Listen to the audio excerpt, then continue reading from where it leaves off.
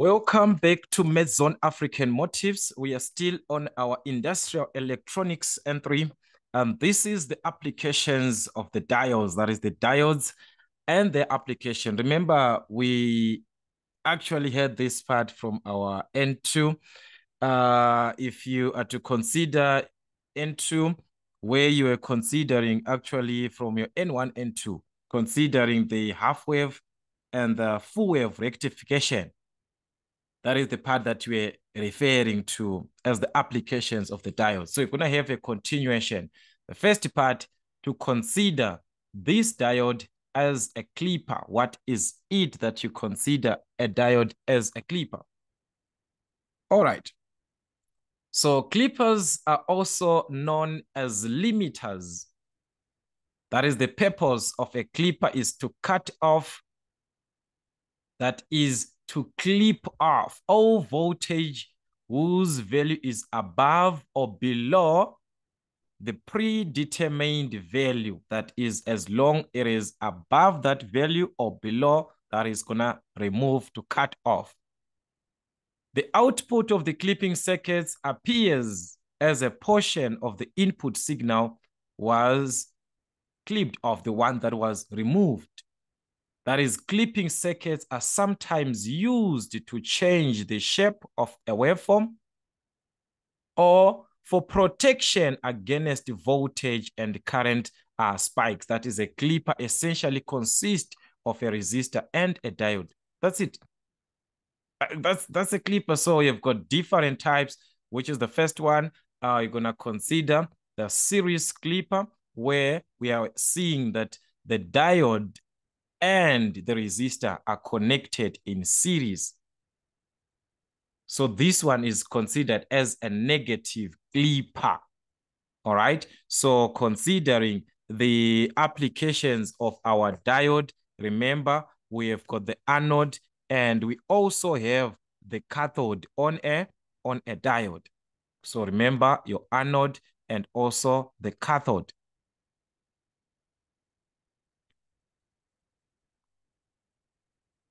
So being connected to the cathode, that is the one that you consider as a negative clipper.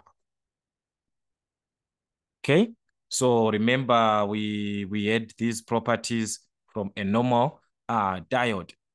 So if you are to consider the input, which is our Vn, this is the input. So remember that a, a, a diode that is operating in one way. Okay? Because we, we talked about that, uh, that if you connect uh, it in a proper way, which is a forward bias, we are going to have the current flowing in one direction.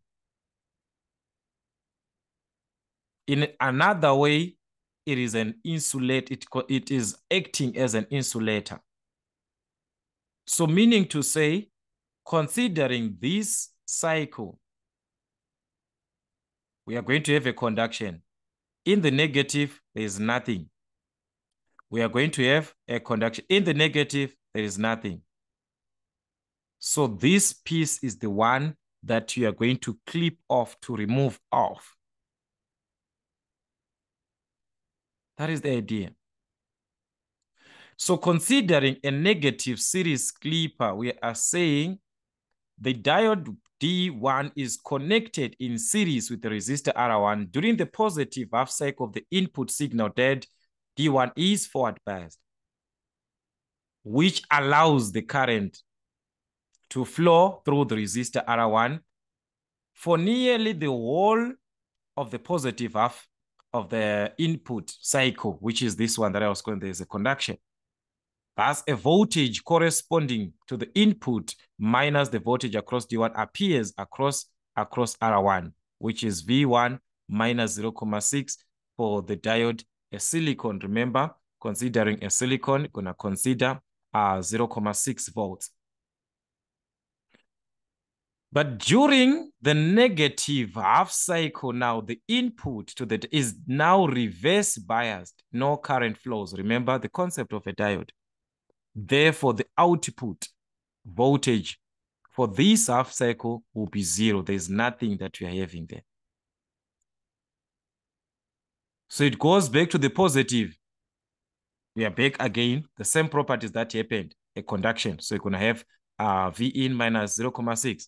That's a negative series clipper. Clips off a negative portion of the input signal and passes the positive portion to the output, which is now V out given as V in minus 0, 0.6. That is the idea of a negative series. So when it is a positive series, we are going to have this time the connection to the anode, the resistor is now connected to the anode.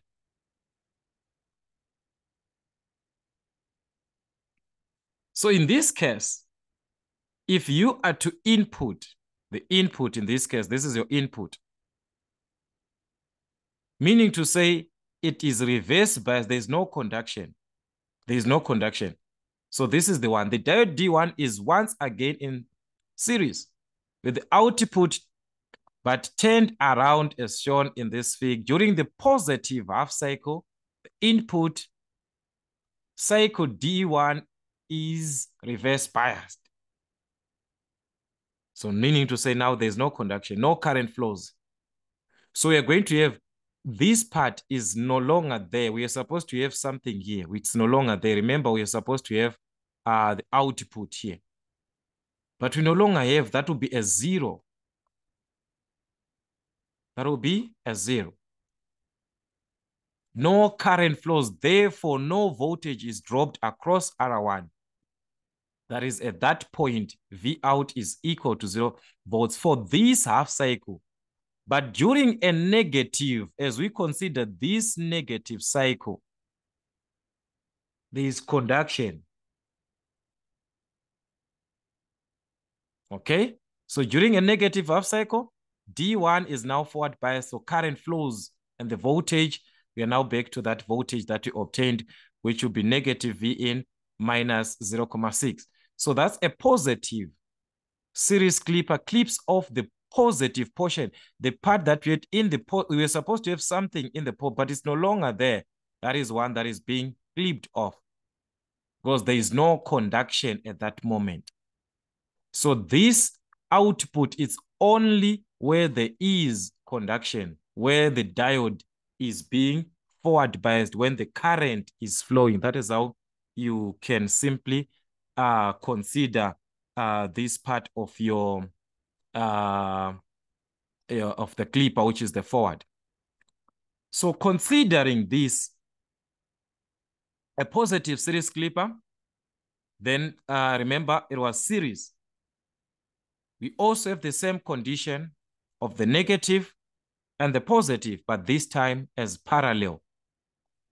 So these clippers are also referred to as shunt clippers. Hence, the diode is connected in the parallel across to the output. So the diode is connected in parallel, parallel across the output. Must be parallel.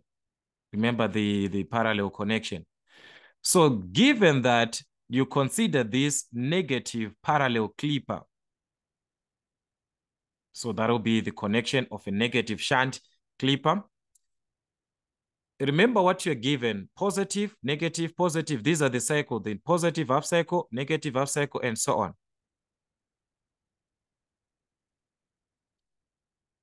So during the positive half cycle, during this positive half cycle, what is going to happen? Remember your anode, your cathode. The positive there, it means the, the diode is now reverse biased. So when the positive half cycle of the input signal is applied, the diode D1 is reverse biased. For this half cycle, no current, just like what we saw, guys, any reverse bias, there is no current, meaning to say it is going to affect uh, in terms of the output. But this is a parallel connection, guys. Remember that. So for this half cycle, no current will flow through D1 across this diode D1. There is no current that is going to flow. So meaning to say all the current is concentrated on the resistor. All the current is concentrated on the, on the resistor. No current is going to flow through here. So meaning to say the output voltage is then equal to the input at that moment. V out will be equal to V in because what we have the guys they, they, they, there is no current here so what we have at the input is gonna so that is what we are seeing here on this part this is for the positive half cycle but during a negative half cycle the diode d1 is forward biased this time. Meaning to say the current can flow. There's current now.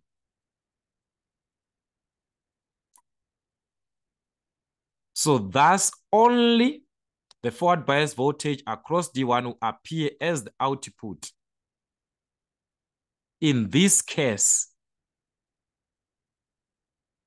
only the diode voltage. But since it is in the negative, so it is going to be V out is equal to minus 0, 0.6. So the total voltage at the end, because remember we said there is a minus 0, 0.6 of the diode, okay? But originally here, there's a V in, the V out was equal to V in. So at the end, the difference is going to be the V out. So at the end, V out will be V in minus 0, 0.6. So guys, this is what you're going to have, even if it is a positive parallel clipper in another way.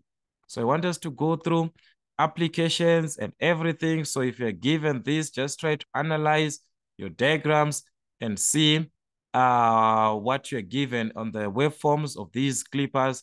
Uh, just try to go through each and every part, understand uh, everything that you're given. Then also the other application is to have the diodes is a voltage doubler.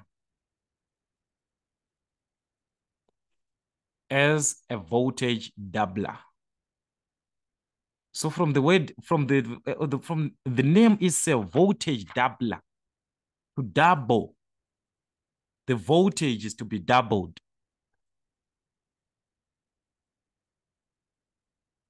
So how is this possible to double the voltage?